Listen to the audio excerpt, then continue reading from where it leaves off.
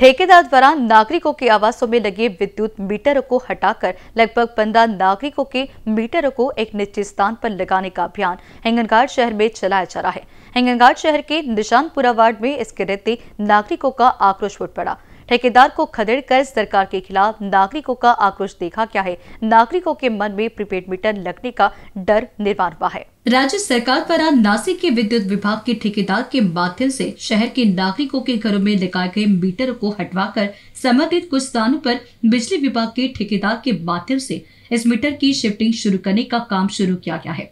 यह अभियान हेंगनघाट शहर में भी शुरू किया गया है। इससे प्रीपेड मीटर का डर लोगों के मन में निर्माण हुआ है। इसको लेकर हिंगनघाट शहर के निशानपुरा वार्ड के नागरिकों में इस समय आक्रोश व्याप्त हुआ था संबंधित ठेकेदारों को नागरिकों ने भगाते हुए इस कार्य को करने के लिए मना कर दिया। इस वक्त नागरिकों का बड़ा जन आक्रोश देखने को मिला। इस संबंध में बिजली विभाग से जानकारी लेने पर बताया गया कि ग्राहकों की सही रीडिंग के लिए ये कार्य शुरू करने की बात कही गई। एनबीसी न्यूज़ के लिए हिंगन घाट से रवि येनोरकर की रिपोर्ट।